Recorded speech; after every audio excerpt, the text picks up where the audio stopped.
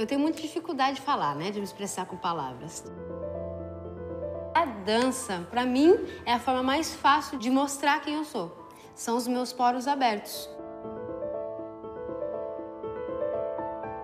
Desde que eu não dançava, talvez eu já sabia que eu queria dançar.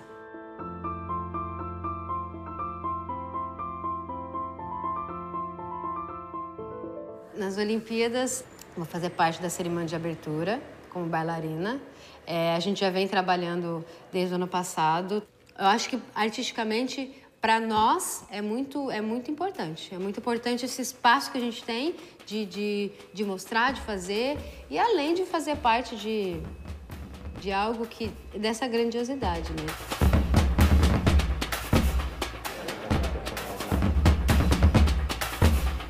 Tem uma coisa que eu queria pedir para vocês, final da parede, mundo tem que parar.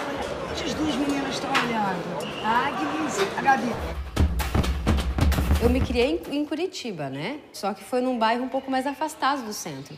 Então, é, a gente tinha um quintal grande, meu pai cuidava de galinha, minha mãe também. Eu tinha que ter uma, uma responsabilidade em casa, todo mundo começa a trabalhar cedo, né? E daí eu já trabalhava na, numa fábrica, numa indústria de, de malhas. Peguei minha bicicleta fui procurar uma escola e achei uma escola de dança. Aí pensa, eu de calça larga, de tênis, bem urbana, chego na sala e um monte de menina de sapatilha, meia calça, colã, fraldinha, cabelo, um coque amarrado, meu cabelo daquele jeito. Não quis fazer. Aí começou, ele colocou a primeira música, eu, caraca, eu quero fazer isso.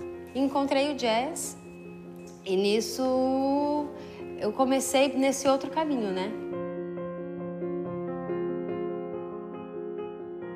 Chegou um momento em que eu comecei a dar aula que eu saí da malharia.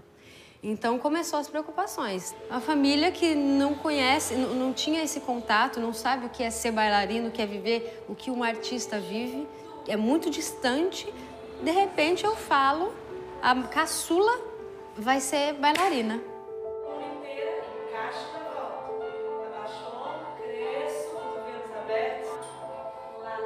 Eu cheguei aqui dia 1 de novembro de 2014. E desde então, as pessoas perguntam: Ah, você não é carioca? Não acredito.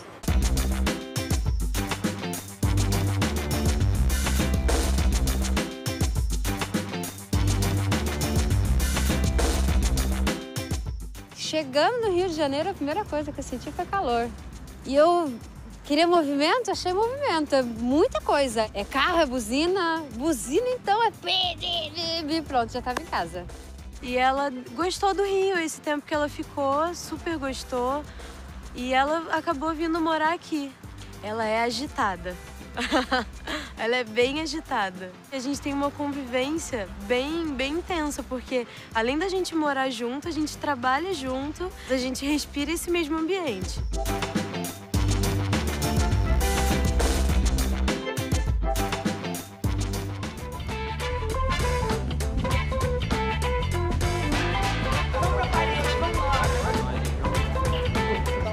Débora Coker já havia muito, né? Ela é uma, um grande nome dentro da história de dança do, do Brasil. Aí alguém falou assim, Agnes, a, a Débora tá aqui do seu lado.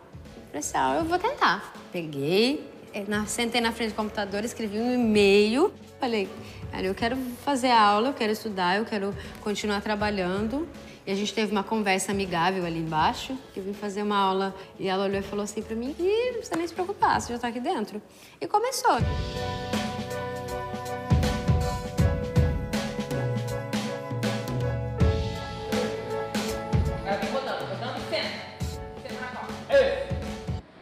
Esse é o Centro de Movimento Débora Coker, a escola que ela idealizou. Essa aqui é a minha segunda casa. Eu já tenho quase um puxadinho ali do lado com o meu colchão, porque é mais, é mais fácil, é mais fácil eu terminar, tomar um banho ali em cima e deitar do que ir para casa e voltar. Isso virou parte de mim, porque eu, eu faço, faço aula, ministro aula também. Tudo que eu trabalho com dança, eu faço aqui dentro.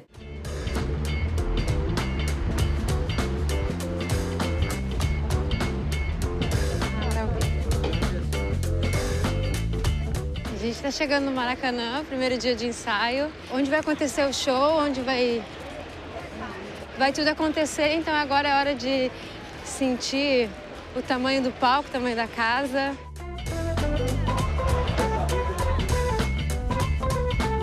Você fazer parte de um evento e fazer parte desse processo é, é, é uma responsabilidade grande.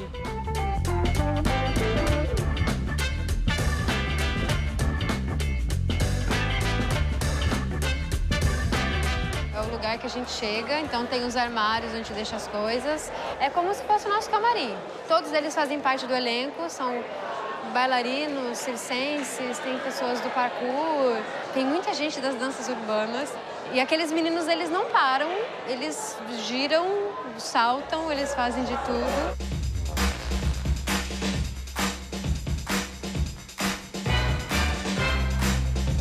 Minha mãe chega daqui a pouco de novo. Terceira vez que ela vem pro Rio. Tá super ansiosa, ela adora o Rio.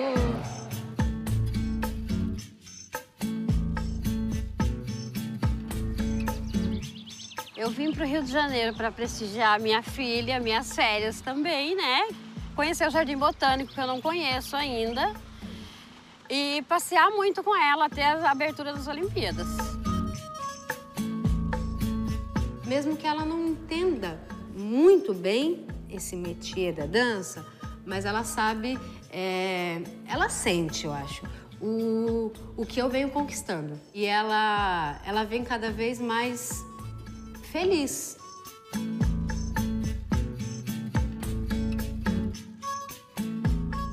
É bom sair do palco e, e ver e ver a mãe.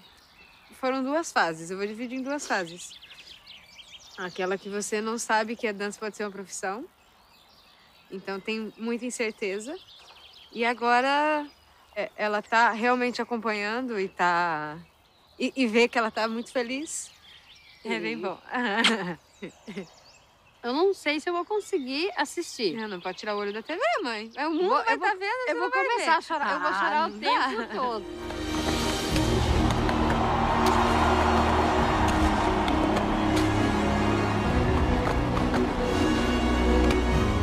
Sempre assisti na TV, né? Todo mundo assiste, ah, mas eu acho que eu não tinha me dado conta do que realmente é.